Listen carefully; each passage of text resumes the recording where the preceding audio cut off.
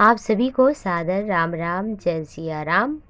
आइए जानते हैं मनोरथ पूर्ण की चौपाई श्री रामचरित मानस के अनुसार।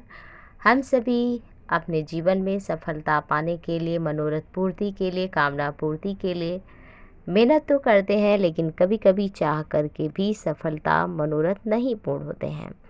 तो अगर आप चाहते हैं आपके मनोरथ जल्दी पूर्ण हो तो श्री रामचरित मानस जो कि तुलसीदास जी ने लिखा है, जिसके साक्षी भगवान गौरी शंकर हैं तो आप अपने मनोरथ पूर्ण के लिए ये दोहा पढ़ सकते हैं।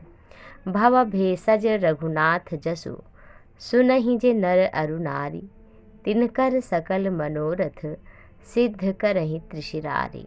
अर्थात श्री राम जी का चरित्र इस संसार रूपी रोग के लिए दवा के समान है। जो भी नर नारी भगवान के चरित्र का श्रवण करते हैं, उनकी सभी मनोरथ को त्रिषा का वध करने वाले, त्रिशिरा राक्षस का वध करने वाले भगवान श्री राम उनके मनोरथ सफल करते हैं, पूर्ण करते हैं। जितनी बार हो पाए ग्यारह, इक्कीस, इक्यावन, एक सौ आठ, ज़रूर पढ़े। जय सिया